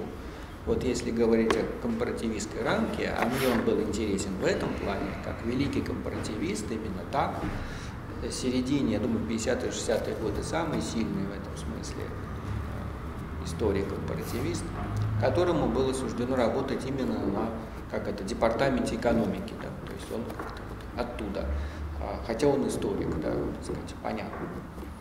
Вот, и я думаю, что его модель в этом смысле не убиваема. То есть, несмотря на то, что в ней можно массу придирок высказать, да, и вы тоже закончили тем, что все-таки вот государство таки сыграло большую роль, ну не в тот период, а несколько раньше, чем часто утверждалось, да, не, не в 90-е годы, да, не привито, а вот видите, там в эпоху великих реформ, но ведь это опять то, что он говорил, да, но э, с поправками, многими поправками. Потому что он хорошо логически мыслил, и он рассуждал так, что то, что в других странах должны были делать частные банки, то, а извините, а в России их нету, да, откуда возьмется, соответственно, вот, так сказать, вот эта недостающая масса, откуда ее взять, да. Вот он решил, что это должно быть государство. Конечно, во многом не эмпирически, а так, как вот, ну, должно быть так, по модели. Вот. И э, вместе с тем там очень много у него таких инсайтов, очень интересных соображений, которые далеко не России касаются. И в этом его ценность. Не, не в том, что он специалист, он был специалистом, но он еще, кроме того, Италию там изучал, да, и как говорили про него, каждый день учил новый язык. Да? И то про Болгарию пишет, то про Италию, то про Россию, то еще про что-то. Ну, мысли так. По крайней мере, в, в рамках континента европейского. А, так что это, это очень сильно. Так же, как и а, Europe in the Russian Mirror, да, Европа в русском зеркале, его известная книга, тоже новаторская, очень интересная. Так что вот. И вот эта, так сказать, мысль, которую я закругляю, она в том, что модели не убиваются. Да, да эмпирический материал там нарастает, и какие-то вещи нуждаются в поправках. Но если мысль есть, то, то она не исчезает. И через какое-то время цикл да, повторяется, маятник опять идет в другую сторону, и смотришь, вот он опять классик, да, вот его опять цитируют. А, тоже касается на другом уровне и публицистов да, и всяких, так сказать, рассуждателей, иногда очень популярных и далеких, может быть, да, вот, неких высоких теорий, но они по-своему тоже превращают это в какую-то модель, да, и объясняют обществу, куда надо идти, а куда не надо идти. И, как ни странно, это более действенно, чем цифры, чем какая-то, как мы говорим, реальность. Да, она сама по себе не, не выстреливает, а выстреливает вот эти очень спорные и всегда спорные, там, диаметральные, там, не знаю, сколько там вариантов, да, оказывается, на того времени. У вас там то народническая, то иная оказывается, так сказать, оппонентом, да, то есть вот так, что из этого было, может быть, там больше, что там синсимонизм, что, так сказать, почвенничество, не знаю, где жизнь, самые, самые разные, да, сценарии, которые разыгрываются, и некоторые из них очень узнаваемы до сих пор, да, это все вот, действительно, действительно э, звучит. Вот, я, пожалуй, здесь остановлюсь. Значит, вот у меня было общее, так сказать, да, замечание и некоторые слова в защиту обожаемого мною автора, как я его ценю как компаративиста. И поверьте, что компаративисты не устают отвешивать ему поклоны и дифирамбы, потому что мало у кого получилось да, показать общую модель, и в ней масса, так сказать, вариаций. Да, это то, чем можно только мечтать мало у кого это получается. А, так же, как держать в поле зрения всю палитру. А это самое главное, а не то, что у него здесь не та цифра или в этой стране не совсем так происходило дело, как он изобразил. Да. Это не, не разрушит его модель, вот в чем дело, даже если мы вынем Россию, допустим, скажем, что тут не так. А, так, ну, наверное, будут желающие еще высказаться, какое-то мы еще можем поэксплуатировать немножко Юрия Анатольевича некоторое время, да? Кто бы хотел высказаться по критиковать или поддержать. Пожалуйста, Сергей. Ну, в конце будет полная возможность всем нам ответить. Да. Можно дискуссию. Есть передача, кто воспринял вообще комментарий по поводу уважаемого оратора, наши сегодняшние рабочие делают. Там, по-моему, критики было не так уж и много, если она вообще была. Просто если мы говорим о науковедческом аспекте, о моделях, которые развиваются, а какой, какого уровня реализация должна быть модель, чтобы никуда не деться? Потому что мы знаем модели, которые ну, деваются. Вот здесь мы говорим о неких моделях, которые были предложены для разных вариантов индустриализации в разных странах Европы, в первую очередь. Возможно, что действительно это общая схема, но э, действительно, насколько это созданная историком, в значительной степени модель, как общество, она могла существовать довольно долго. Там, я могу привести какие-то конкретные моменты, то есть примеры моделей довольно общих, о которых никто не вспоминает, не вспоминает как о ну, каком-то этапе, давно пройденном, довольно, скажем так, экзотичном в историографии. А, можно я тоже? Да. Я безумно уважаю, я люблю Гершенкрона, потому что он, я не знаю, как насчет, вот, как бы не способен, вероятно, до конца оценить его компаративистский полет, а просто потому что недостаточно владею так хорошо, как экономические историки, конкретным материалом локальным.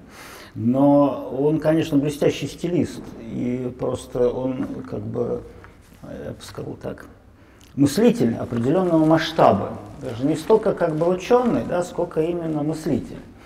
И в этом смысле он, конечно, никуда не делся. Что же касается моделей, то я скорее соглашусь с Сергеем, что если под моделью иметь в виду некую, как бы сказать, научную, как не понимаю ее, парадигму, то да, они деваются. Одни, так сказать, вот была это даже не, не модель Гершенкрона, а это как бы общая модель модернизации, да, которая лежит в основе объяснения определенного процесса трансформационного, который произошел в западном мире, там, начиная с ну, в новое время, так скажем, расплывчато. Ну и как бы сейчас вот действительно нет замены а, но уже как-то не очень она выглядит убедительно, не только если ее эмпирически верифицировать, но и на таком парадигмальном уровне. Да? И потому что она строится на идее все-таки нормализации, да, что вот есть какая-то нормальность, и есть эта нормальность, она дробится. То есть, да, что вот стопроцентная нормальность это Британия, 70% нормальность там Франция, если говорить о Гершенкроне, там 50% нормальность там, и там 10% нормальность Россия. Но это абсолютно не работает, просто не, не, не. И может быть, да. Да, именно в этом ключевой вопрос, потому что ну, здесь у нас в нашей дискуссии произошло некоторое совмещение двух э, типов э, того, как мы представляем модель. Но, с одной стороны, есть э, академические модели, которые предлагают для объяснения каких-то явлений. С другой стороны, есть модели, которые пользуются, собственно, героем вашего рассказа. Ну, мифы, условно Да, скажем. ну, не, не, не, да, как бы. Ну, некая- Я, люблю слово миф использовать. Вот, э, ну, не- некоторые взгляды на некоторое даже социальное воображение, да, ну, как, как устроен мир, как устроена э, экономика и так далее. Э, то есть у нас есть вот эта вот модель, ну, можно в другом месте поставить ударение, ну вот вы поставили на нормализации, на нормальности и соответствию идеалу тех или иных национальных экономик. А с другой стороны, вот у нас есть экономические мыслители русские, французские, российские, французские, которые как-то себе представляют э, э, пути развития национальных экономик э, стран. Это, ну, как бы, мы просто мы совместим в одном рассуждении Да. э, э, два разных типа мечтания, представления о, о, о предмете. Э, Правильно я понимаю, что когда вы говорили статистику, очень кстати, потому что, э, как бы она была развита или наоборот не развита, она всегда получается, что служит иллюстрацией для каких-то более-менее не э, поддержанных статистически, а возможно и э, с нашей точки зрения эмпирически идей о том, как это все развивается. Но вы говорите о том, что вот и- эта модель нормализации, да, основана на представлении о нормализации, где нормальность полная это э, Британия или Англия, это 100%. Ну, а, не знаю, Литва это 10%. Э, Но ведь, когда мы говорим о догоня- догоняющих или каких-то прочих компенсаторных механизмах, э, мы же во многом следуем логике тех людей, которые видели политику, которые имели в том числе и Англию в качестве идеала.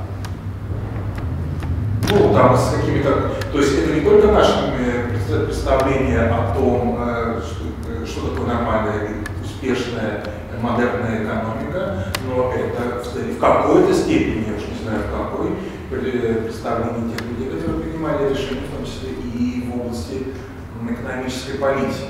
Ну да. Ну, собственно, я пытался, наверное, если говорить о а, каком-то месседже выступления, вот, и как пока- не столько сформулировать это, может быть, четко и логически, сколько попытаться показать некоторые черты вот этого превращения, с одной стороны, эмпирического знания, ну, так сказать, через разные институты в политику, да, а с другой стороны, э, того, как политика форм- и общественная мысль форматировала дальнейшее развитие этого эмпирического знания. Это все не, не очень просто сделать, потому что там, где есть несколько резервуаров, есть там, повторяю, вот некие процессы, которые анализируют экономические историки, в том числе компаративисты, а есть совершенно другие процессы, которые анализируют историки идеологий и э, значит, лю- люди, которые занимаются там, социальным воображением. И значит, эти две- два резервуара очень тяжело совместить э, риторически. Э, То есть построить э, рассказ таким образом, чтобы это, это, это было что-то, вот как, это одно с другим сочеталось, да, а а не только про то или про это. И, к сожалению, вот я, я думаю, что вы совершенно правы, что это не очень хорошо получается. Сейчас еще охотно дам слово, мне пока пришла в голову одна мысль. Просто я вижу, что то, что называется экономические историки, особенно нынешние очень многие, они, они в сущности экономисты. То есть экономист-историк. Это, это другое существо. А, Читаю сейчас как-то друг за другом Кларка, там, вот, ну, новых авторов, Аллена, да, я это хорошо вижу. Они иначе задачи ставят.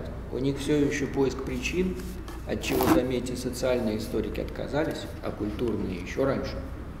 Кто-то нелепо, да, почему это, как мы выстроим цепочку. Вот, это просто другие животные, да, друг, друг другой, хотя их тоже как бы там слово историк вроде мелькает. Но э, вот эти new э, comparative э, economic history, да, которые там Калифор- Калиф- в Калифорнии процветает, ведь они там прямо написали, да, если взять эту вот книгу там 2007 года, там написано, что мы не будем э, идти за, на поводу историков, не будем, у нас адженда другая, да, вот все написано на самом деле, да, и эта адженда, это повестка дня экономической науки, и мы вот будем делать все, так сказать, да, для нас история ну, материал просто, да, то есть у нас задачи совершенно другие. И поэтому то, что вы- выглядит как, ну, называется экономическая история, там существительное не, не, не- не там где-то. Вы понимаете, надо прилагательное и существительное поменять местами. Да? То есть это будет действительно такая историческая экономика, вот правильнее бы сказать. И они мыслят по-другому. Гершенкрон в этом смысле гораздо больше историк, гораздо больше. И у него гораздо больше остается места для вот этих очень дорогих историку местных различий, местной специфики. Я не согласен, что он так сильно привязан к модернизации. Он, конечно же, от этого отталкивался, но не так жестко, как Ростову, например, которого просто вот ну, без этого вообще невозможно. Да? Жесткая последовательность стадий. Между тем, как э, ну, не будем долго на этом задерживаться, но понятно, что вс- вся прелесть вот в этом бесконечном разнообразии. Что Гершенкрон делает, например, с идеей первоначального чего-то там, накопления, да, или какого-то пер- первоначального предпосылок знаменитой для индустриализации. что, так сказать, их, их часто нету, он констатирует, ни здесь, ни в этой стране, ни в той. То есть он разрушает на самом деле вот эту единую модель, и чем он молодец, да, то есть это вот как историк делает, а не как экономист.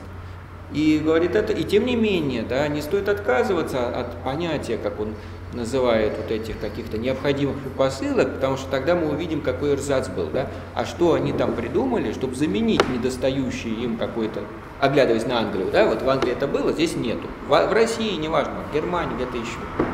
Вот это, вот так мыслит историк, вот как я это понимаю, да, и нам это, кажется, очень интересно. А что здесь нашли для того, чтобы что-то построить, что-то сделать, не имея ни того, ни пятого, ни десятого, что было в образцовой стране. Экономисты, конечно, рассуждают в этом плане по-другому. Да? Им как раз очень мало интересно местные специфика, да, местные отличия, им интересна общая, генеральная, глобальная модель. Собственно, об этом все эти книги. Но и последний момент, так сказать, блеск и нищета экономической истории – заключается в том, что сколько авторов, столько, естественно, объяснений. И столько причин. И они все разные. А на Гайдаровском форуме в январе 2013 года я посмотрел просто да, выступление звезд. Ну там вот Голдстоун выступал. Угу. И он там пожаловался. Он говорит, я спросил шесть ведущих британских э, экономистов. Да, так в чем же, значит, причины ну, промышленной революции? Я получил шесть ответов разных.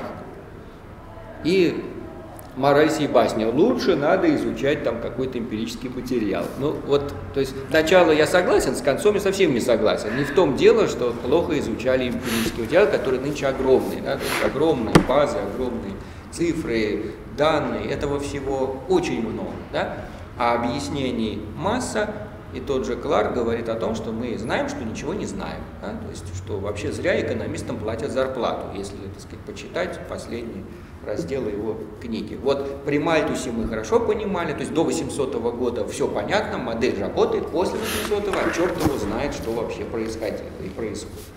Вот, так сказать, к чему а, это все приходит. Так что здесь я о дисциплинах, да, вот чувствую себя абсолютно историком и абсолютно не экономистом, я вот смотрю на это как на совершенно для меня что-то диковинное, да, и вот отмечаю разброд и Ну вот они и разрушают ревизионисты Гершенкрона, повинуясь той же логике, что мы не знаем. Он знал, как ему казалось. Конечно, но при этом, как вы сами сказали, ничего э, такого глобального, как сказать, и э, серьезно альтернативного предложить не могут. Да? То есть вот критикуют, как собачки лают, но кусают, но ничего не могут поменять и предложить что-то, так сказать, столь же масштабное и убедительное. Ну вот о чем и речь.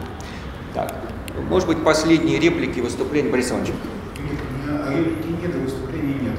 Просто я хочу поделиться чувством простого человеческого смятения.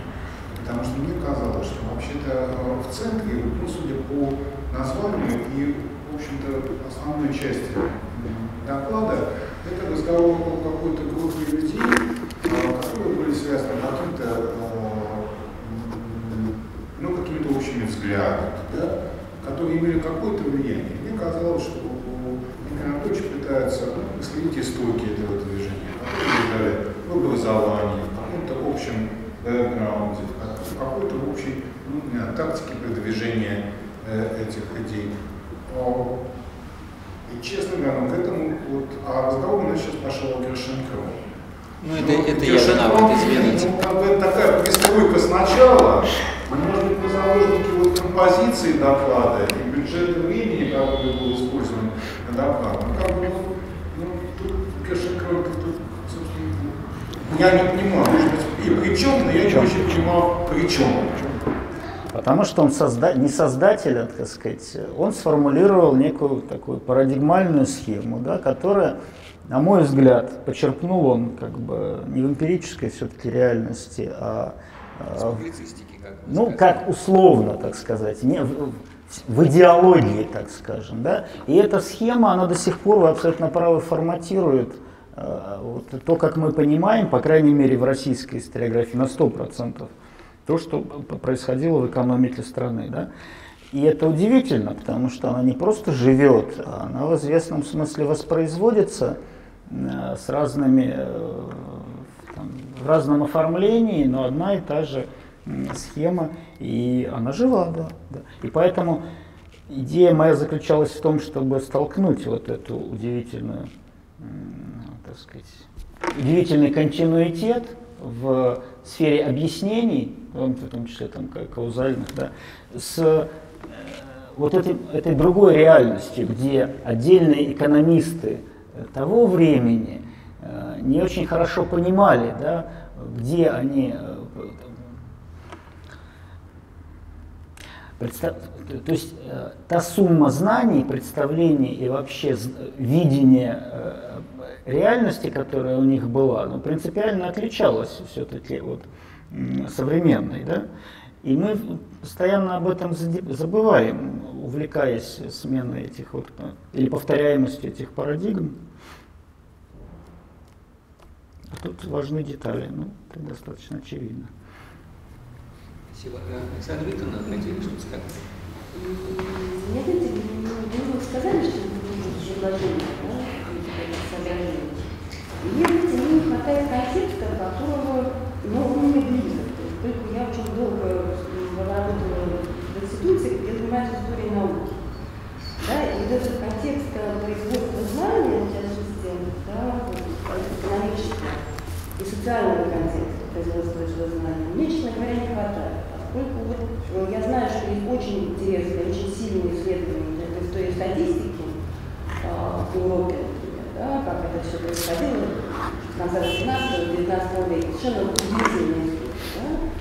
И ничего не про Россию. Есть такие тома, там, которые сделаны очень серьезными советскими исследователями в истории статистики, есть такие исследования. Но эта история не написана. Да? И также не написано про политическую экономику. Поэтому вот этих людей, которых вы исследуете, мне не хватает контекста производства знания вот этого особого вот этого периода, как это было. Потому что мало говорить о том, каких они в институциях учились. А важно понимать, как, э, что именно они учили и как, да, и чему они учили своих учеников, и как это было институционально организовано, то есть институциональный контекст развития этого знания в России в тот момент. Чем это отличалось от европейских институций? Эти люди, насколько я понимаю, они выезжали да, в Европу, для них это было важно. Вы говорили, что они э, выезжали на конгрессы уже, да, то есть они общались с коллегами, они это привозили в Россию, они хотели это сделать, ну, если не так, что примерно так же. Э, Завразов организует в географическом обществе отделение политэкономическое. И э, а, контекст развития общественных э, организаций да, научных в России в этот период, это, это тоже, чтобы очень хотелось бы здесь больше. Да? Что именно и как оно делать. Вообще географическое общество, которое создавалось вот в этот момент, и как оно создавалось, как оно работало, это очень интересно. Потом э, министерство, тоже мало сказать, что они работали в этих министерствах, а что нужно было, почему возникают ученые комитеты да, в этот период в разных министерствах, и нужны люди, которые обладают этим знанием, которые это знание должно изменить реальность. Да? То есть и министерство работает по-другому. Хочется понять, как вот там это было все тоже устроено, с этими комитетами, как это все это завязано. Вот мне вот этого немножко не хватает. Мне кажется, это было бы очень-очень интересно, потому что, ну вот, у вас в анонсе есть да, жесткий идеологический контроль. Это штамп, который мало о чем говорит. А время такое очень противоречивое. То есть, с одной стороны, ну, вот мы знаем, да, во втором половине там, Николаевского царства, реакции, все такое прочее. А с другой стороны, ну, потрясающие разные варианты развития, да, и все это вот, так, по котел бурлящий. Татьяна. Я тоже про котел хочу сказать. Мне он очень нравится. Мне кажется, тема, безусловно, очень богатая. И здесь вот вы нам продемонстрировали ее отдельные богатства, я уверена, вы знаете гораздо больше, да, опираясь, опять же, на вашу недавнюю книгу 2011 года.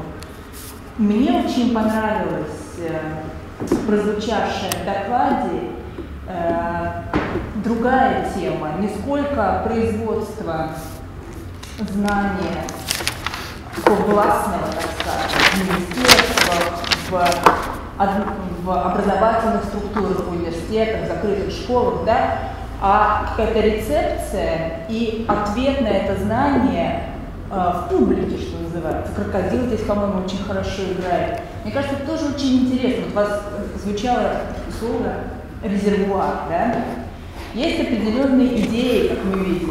Например, о, об особой деревенской экономики, да, патриархальной экономики, которая существует в России, которая находится, и вот эти идеи находятся в каком-то э, параллельном существовании с безобразным, с безобразным, со всеми этими прогрессивными экономистами. Мне кажется, это тоже очень важное измерение какого-то, как вам сказать, какой-то публичной такой экономической дискуссии, э, которая тоже, по-моему, очень украшает вашу тему. То есть, конечно, сконцентрироваться на чем-то и поставить основной вопрос, сейчас, как я понимаю, это вопрос о механизме принятия решений, практических решений, правильно я понимаю? Да? Вот как все эти идеи становятся государственной политикой. Ну, не становится. Или не становится государственной политикой. Мне кажется, вас тоже это интересует, как бы вот эти утраченные шансы. Да вот они есть, вот они на столе, вот эти влиятельные люди, и потом они перестают влиять, да, или влияют не так, как, может быть, они бы хотели, да, там в ресторане. Короче, мне кажется, это прекрасная тема, и уже очень много сделано, но просто, конечно, надо еще думать. А, пожалуйста, Сергей. Ну, вот я продолжаю эту тему, скажу, что, ну, скажем так, возбудило мое любопытство. Дело в том, что когда мы смотрим на, или употребляю слово, уже употребляю слово воображение, мы воображаем процесс принятия решений там, в широкой власти, мы иногда представляем себе, что это все делается с, на основании мнений экспертов, собранных каких-то вот, поскольку мы знаем, что мы связываем две вещи, принятие решений и существование э, экспертного сообщества, специальных институций, э, институтов, э, статистических бюро и так далее, и так далее. Э, у меня там приходится иногда, э, до меня долетают какие-то слухи информация, на, на основании чего принимаются, например, э, решения на высоком уровне по проведению религиозной политики, это не так. У нас работает сообщество экспертов на государственной деньги, значительной степени существующее не только на деньги Госдепа, для того, чтобы производить э, знания, Эти тоже государственные, только другого государства. Все нормально. Э, чтобы это государство, которое оплачивает работу этих экспертов, не пользовалось э, экспертными знаниями. То есть э, у нас э, логика существования вот этих институций и структур по производству, по сбору, производству информации и так далее, и так далее, оно как бы самодостаточно, поскольку государство оно нужно для того, чтобы показать другому государству, у нас есть, а у нас есть эти люди, это заполнено. А э, как бы вот то, что э, там эти люди умные, знают много про то, что в стране, и вообще там и теорию, и практику. Но это никому не нужно, на самом деле, фактически. То есть, как бы на уровне их существования нужно, вот, и то, что они такие симпатичные, и наоборот, безобразные, тоже важно, но, собственно, это мы склонны воображать, воображать связывать их работу и принятие решений тем людям, э, теми людьми, которые вроде бы платят им деньги. Это не совсем так, и мне кажется, что вот это э, существование, э, даже разрыв, это не, не, неправильная метафора. Э, как бы самодостаточное существование тех э, структур и механизмов для актуальной реальной политики экспертного сообщества, и иногда существование одного и того же лица в рамках экспертного сообщества какой-нибудь институции и в, рамках реальной э, политики, когда это, в общем-то, оказывается не особо даже связано. Вот в этом э, докладе мне, э, ну, я увидел в этом какие-то такие свои э, иллюстрации, когда вот та же самая статистика, умная или наоборот бездарность, она, собственно, не имеет значения, как ее делать. Потому что она привлекается в лучшем случае для иллюстрации. Э, вот. на, на самом деле, вот, э, патриарх э, всея Руси может называть любой процент православных верующих в стране. Любой. В зависимости от того, что нужно сейчас. Ну, Э, И, вот, виднее, вот, и э, не важно. И это, все- это- этот процент будет, э, причем существует добрых две сотни людей, которые считают этот процент. Но он назовет тот, который, который нужен. Или, ну, или не нужен, неважно. Вот, я прошу прощения. Спасибо. Ну, почти два часа с вами сидим, что говорит о высоких качествах докладчика, об интересе проявленном. Мне кажется, что часть это- этого интереса, ну, тот случай, когда, э, что называется, наши недостатки, продолжение наших достоинств или наоборот. А, То есть доклад децентрован, или, как правильно, децентрирован, в нем не было стержня, что признал Игорь Анатольевич, но именно поэтому разные вот эти блестки, разные интересные вкусные кусочки, которые там есть, зацепили разных присутствующих. Кому-то понравилось это, кто-то там на Гершенкрона, как я набросился, и тем самым вот э, вызвал неудовольствие Борис Ивановича, это не зачем вообще там этот персонаж. Вот. Кто-то, кому-то хотелось больше статистики, кто-то там обратил внимание на там, другие аспекты. Я подумал, что у вас может получиться роскошная книга о хаосе. Вот. э, Дело в том, что э, мы все заняты тем, что мы все время упорядочиваем. Ну, так свойственно ученым да, писать какую-то систему, создавать. Э, Я обычно говорю студентам, что, пожалуйста, не путайте да, вот систематический ум исследователя и систему, которой, возможно, нету в обществе. Может быть, ее нету. И вот э, ваш рассказ, ваша будущая работа большая, она может быть о том, как одни люди принимали решения, другие люди делали там вид, или, или- или действительно очень, так сказать, как вот сейчас Сергей говорил, действительно что-то там советовали, это было некое экспертное сообщество, так? А третьи люди все это критиковали, как Достоевский там, а четвертые там что-то переводили, какие-то западные работы, и все это называлось миром там российского хозяйства или там эко- экономики, вот. И несколько такой абсурдистский взгляд, но из этого можно сделать очень интересную работу. Вот там 4-5 миров, да, которые сосуществовали и как-то сложно друг на друга реагировали. Вот, а какая была равно, э, равнодействующая, что из этого получалось, вот это, так сказать, вот э, то, с чем мы теперь имеем дело. Да, многоликий мир такой, да, состоящий из очень многих. А уж в какую рамку это облечь, будет это какая-то теория градов, будет это что там сетевое такое, да, из много, да, это уже вам виднее, что как это все облечь, да. Вот, видимо, жалко терять каждую из этих, э, как сказать, из этих сюжетов, да, или из этих ниточек. Вот. А теперь, пожалуйста, вам слово для ответов, да, для реакции все, что мы вам говорим. Михаил Маркович, я, как и вчера, восхищен вашим умением облечь э, смутные идеи в какую-то чеканную форму. И... Тут вот знаете, сколько людей, кто я? Нет, вы, Я всех как мышка на ковре. Ну да, наверное, нет, вы, вы абсолютно точно сформулировали как бы а, тот хаос, в котором находится сейчас тема, то, как я над ней работаю, естественно, да, поскольку это процесс, можно сказать, в начале.